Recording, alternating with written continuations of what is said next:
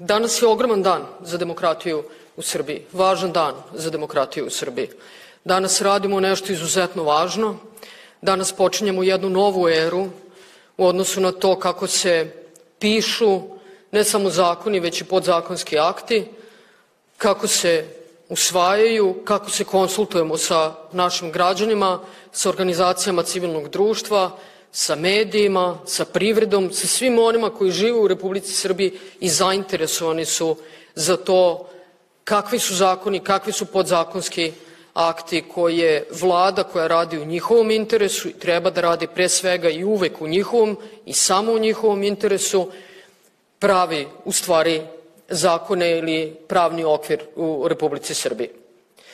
Ja ću vam reći kakvo je moje iskustvo pre početka bavljanja politikom, pre nego što sam 2016. godine ušla u vladu Republike Srbije, tada kao ministar za državnu upravu i lokalnu samoupravu, a onda 2017.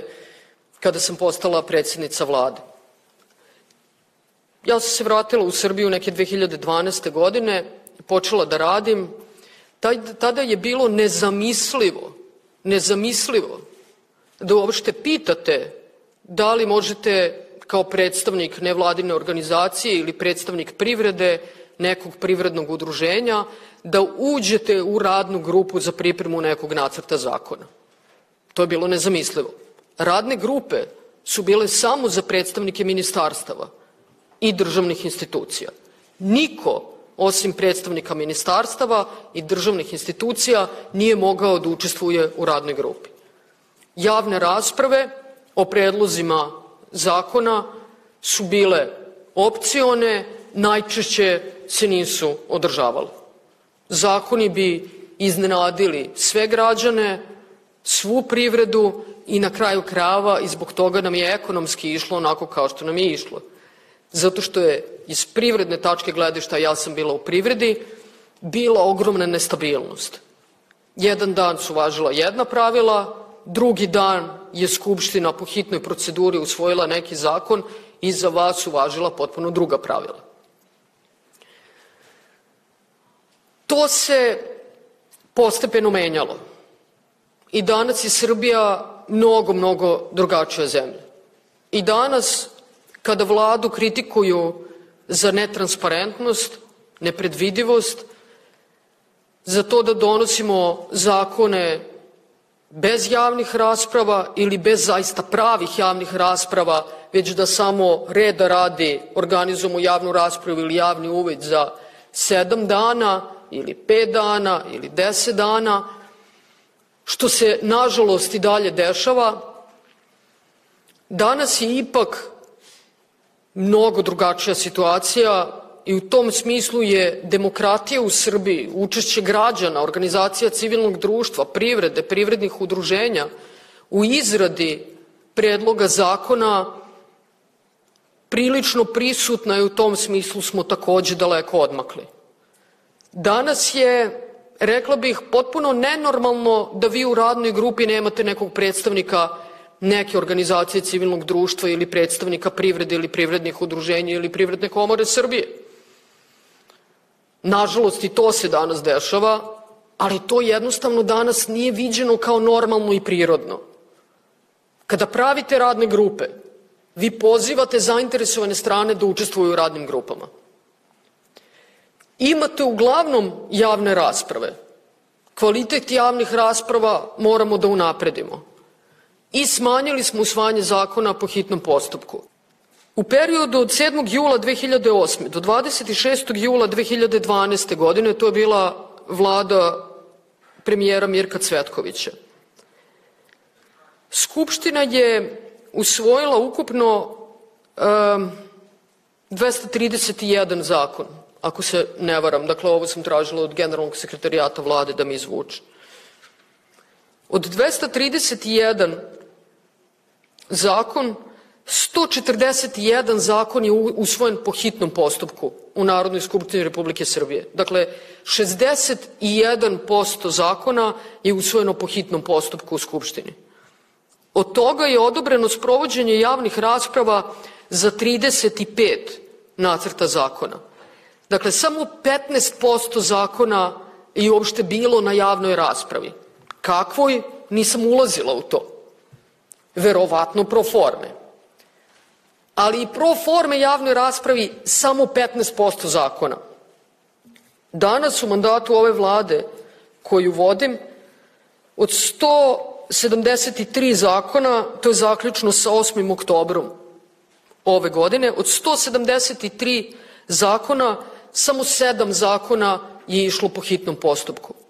Dakle, mi smo došli od 61% zakona koji su usvajani po hitnom postupku u Narodnoj skupštini na 4% zakona koji u Narodnoj skupštini usvojeno po hitnom postupku. I od toga smo imali otprilike 52% zakona koji su išli na javne konsultacije, odnosno javnu raspravu. Ako pitate mene kao predsednicu vlade Republike Srbije, meni je ovo katastrofalno. I ja sam u stvari bila poražena ovom činjenicom. 52%, 52,6%. Ali ako pogledate koliko se Srbija promenila, da je to bilo jedva nekih 15%, a da smo došli na 52%, opet je mnogo, mnogo drugačija zemlja. Mnogo bolja, sa mnogo odgovornijom i mnogo transparentnijom vlašću. Ali nije dovoljno. Nije dovoljno dobro za naše građane. E zato portal je konsultacije. Zato što sada sa ovim portalom neće biti moguće da usvojite zakon, ne bez javne rasprave, već bez javne konsultacije tokom pravljenja zakona. Postala je, odnosno doneli smo uredbu koju smo dali kao obaveznu, obavezu organa javne vlasti da u sve faze donošenja propisa i dokumenta javnih politika uključi predstavnike zainteresovane javnosti. I od danas će se ovo realizovati na potpuno transparentan način. Dakle, idemo ne korak dalje, ne pet koraka dalje. Idemo svetlosnim godinama, brže i bolje nego što je to nekada bilo.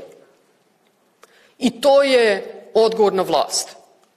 Nekako ja ne kaže, pa dobro, nekad je bilo 15%, a danas je 52%. Odlični smo.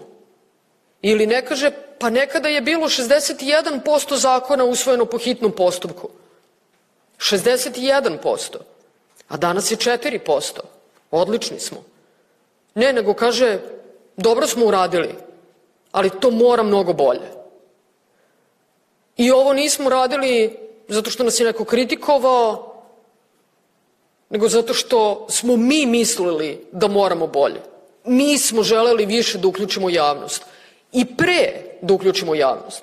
Nekada završimo predlog zakona, pa onda da čujemo šta imate da kažete o tome, pa nešto prihvatimo, nešto ne prihvatimo, a pritom vas ni ne obavestimo šta smo prihvatili, šta nismo, nego kad krenemo da radimo na zakonima i podzakonskim aktima, kada damo početne pozicije, hajte odmah zajedno da radimo na tome.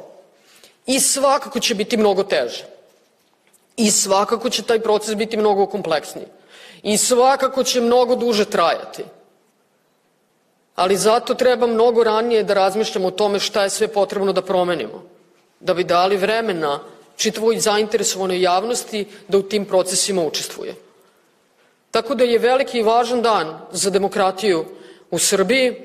Mi smo na ovome počeli da radimo pre otprilike godinu dana i evo danas puštamo ovaj portal u rad. Ja želim da pozovem sve građane Republike Srbije, organizacije civilnog društva, medije, privredu, privredno udruženje i privredne asocijacije, da još danas posete ovaj portal, da pogledaju kako on u stvari funkcioniše, kako radi i da se uključe u sve procese donošenja zakona ili podzakonskih akata javnih politika za koje su zainteresovani za koje misle da su im važni ali svakako je od danas naš rad neuporedivo transparentniji u odnosu na ono kakav je bio juče.